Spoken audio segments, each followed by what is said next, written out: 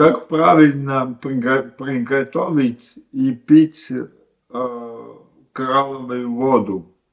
Э, я сегодня об этом расскажу. Я сам уже 10 лет, как э, ежедневно пью живую биологически доступную воду. Нам, каждому человеку, каждый день надо выпивать как минимум 30 э, миллиграмм воды на 1 килограмм веса. Это, э, это, например, если человек весит 50 килограмм, то ему э, в день надо выпить полтора литра воды. И как, как начать день, как, и как начинается мой день каждый, каждый день. Да. Значит так, как приготовить коралловую воду. С утра нам всем нужно выпить 640 миллиграмм воды теплой коралловой воды, э, чтобы, э, потому что э, утром, особенно утром, мы в таком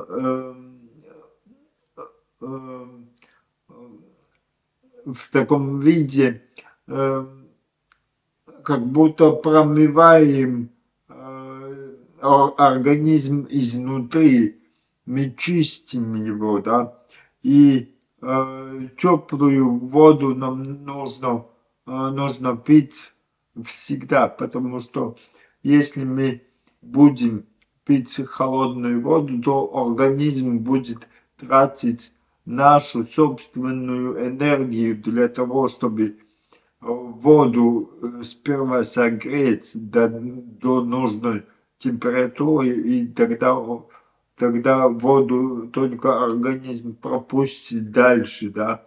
Но так, чтобы не тратить собственную энергию, нам нужно э, пить э, теплую воду, и тогда вода сразу же э, всасывается в организм, и вода всасывается через толстый кишечник. Толстую кишку, да, вот, и, и,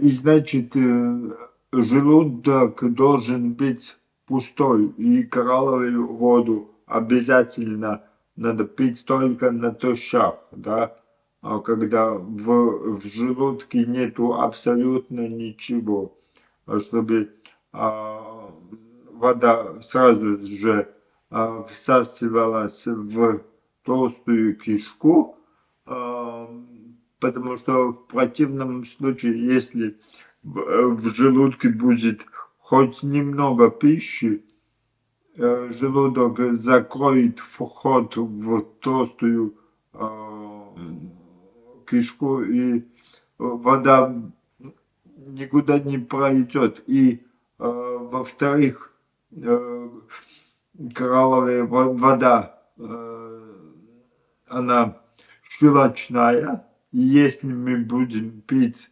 э, такую воду во время еды, то, к сожалению, э, коралловая вода нейтрализует кислотную, кислотный сок, который, который участвует в переработке пищи. Да. Вот, вот такой вот, э, немного длинный, но ничего. Значит так, как приготовить воду? Э, я всегда наливаю, например, э, один литр холодной или комнатной температуры в кувшин, и лучше использовать стеклянный кувшин, потому что э, стекло э, дольше держит э, э, живую воду, да. Иначе, если мы там пластмассу зальем или, э, или в другом сосуд, то живучесть намного быстрее уйдет, да. Металлическую нельзя э, не мешать, да. Значит так, литр воды в кувшине и пол-литра мы заварили, да. Потом э, горячую воду льем в кувшин. Чтобы нам получилась теплая вода. И бросаем один саше колонной кувшин. Так. Один, э, один саше колонной это максимум на полтора литра воды, да. Можно уменьшить э, концентрацию, это даже лучше. Это, да, вот. Но это другая тема.